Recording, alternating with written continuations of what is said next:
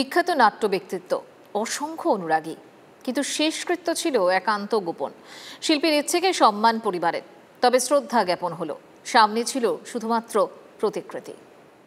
যাবে যদি মনে ছিল নাকি আমারে নিলেন না কেন ডাকি? আমি তো পথেরই ধারে বসিয়া ঘরের দ্বারে আন মনে ছিলাম একাকী। ফুলের মালা ধূপ আর অসংখ্য অনুরাগী। সোমবার রবীন্দ্র সদনে শাওলি মিত্রর প্রতিকৃতিতে মালা দিয়েই শ্রদ্ধা জানালেন তারা।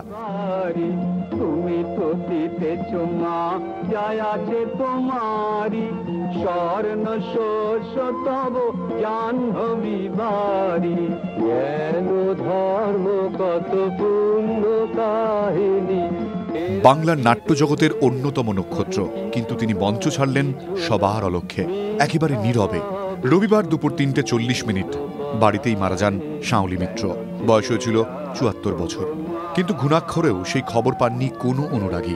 যখন মৃত্যু সংবাদ মেলে, তখন ঘড়িতে রাত নটা। ততক্ষণে সিরিটি শ্মশানের নাট্যকারের নশ্বর দেহের অন্ত্যেষ্টিও শেষ। কিন্তু কেন? কারণ এমনটাই চেয়েছিলেন শাওলি মিত্র।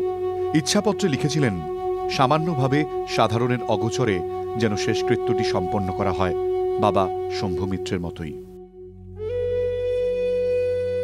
শাওলি মিত্রের প্রয়াণে শোকস্তব্ধ মুখ্যমন্ত্রী মমতা বন্দ্যোপাধ্যায়। সিঙ্গুর নন্দীগ্রাম আন্দোলনে নাট্যকারের অবদান স্মরণ করে শোক বার্তা মুখ্যমন্ত্রীর। বর্ষিয়ার নাট্য ব্যক্তিত্বের প্রয়াণে গভীর শোক প্রকাশ করে সোশ্যাল মিডিয়ায় পোস্ট অভিষেক বন্দ্যোপাধ্যায়েরও। একেবারে আশ্চর্য। কি অভাগিনী মেয়ে বলুন তো পাঞ্চালি হ্যাঁ? কি অভাগিনী মেয়ে? সেই স্বয়ংভর সভা শেষের কথাই ভাবুন, আর আজ এই সভা পর্বের শেষে। নাট্যমঞ্চের প্রবাদ প্রতিম জুরি, শম্ভু মিত্র ও তৃপ্তি মিত্রের কন্যা শাওলি মিত্র। বাবা মার পাহাড় প্রমাণ সাফল্যে ঢাকা পড়েননি কখনো। নাথবতী অনাথবধ, গ্যালিলিওর জীবন, পুতুল খেলা থেকে কথা অমৃত সমান। নাট্যমঞ্চে দুটি ছড়িয়েছিলেন শাওলি।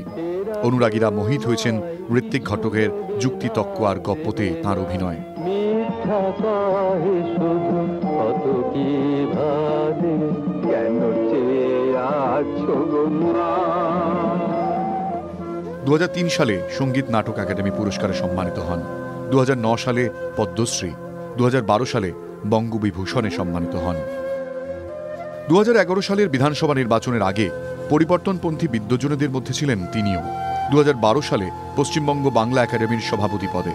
দু হাজার সতেরো সালের শেষ দিকে মুখ্যমন্ত্রী মমতা বন্দ্যোপাধ্যায়কে চিঠি লিখে পদ থেকে ইস্তফা দেন। তারপর থেকেই আড়ালেই ছিলেন। দীর্ঘদিন ধরে অসুস্থও ছিলেন। আড়ালে থেকেই ছাড়লেন প্রাণের প্রিয় মঞ্চকেও। Bureau report, TV nine Bangla.